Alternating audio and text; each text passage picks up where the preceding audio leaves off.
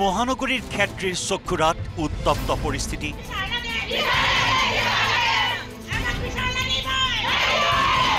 এটা হত্যাকাণ্ড কেন্দ্ৰ কৰি তীব্ৰ উত্তেজনা।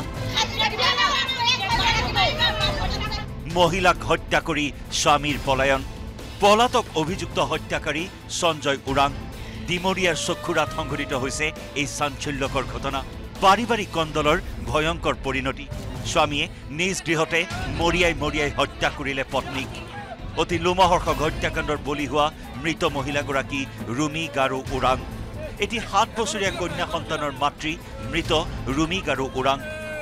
উল্লেখযোগ্য যে পূৰ্বতেও কেইবাটাও অপৰাধজনিত গোচৰত ৰঙা ঘৰৰ আলহী হোৱা অভিযুক্ত সঞ্জয় ওৰাঙক কৰায়ত্ব কৰাৰ দাবীৰে ৰাইজ উত্তেজিত হৈ পৰে। ৰাইজে সাব্যস্ত কৰে উত্তাল প্ৰতিবাদ। ক্ষেত্ৰী থানাত উত্তপ্ত পৰিস্থিতি স্থানীয় ৰাইজৰ। বোৱাৰী হত্যাকাণ্ডৰ ন্যায় বিচাৰি এনেদৰে এক হুলস্থলীয়া তথা তীব্ৰ উত্তেজনাপূৰ্ণ পৰিস্থিতিৰ সৃষ্টি হ'ল ক্ষেত্ৰী থানা চৌহদত। সঞ্জয় ওৰাঙৰ গ্ৰেপ্তাৰৰ দাবীৰে থানা চৌহদ উত্তাল কৰি তোলে স্থানীয় মহিলাসকলেও।